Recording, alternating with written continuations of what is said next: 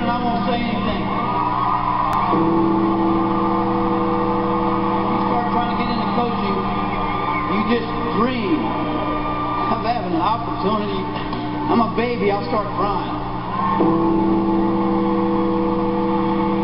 We talked about one of the best positions in all of sport, not just in college basketball, but all of sport, the head basketball coach at Kentucky. It's a great honor me to be here standing at the place where they basically invented basketball.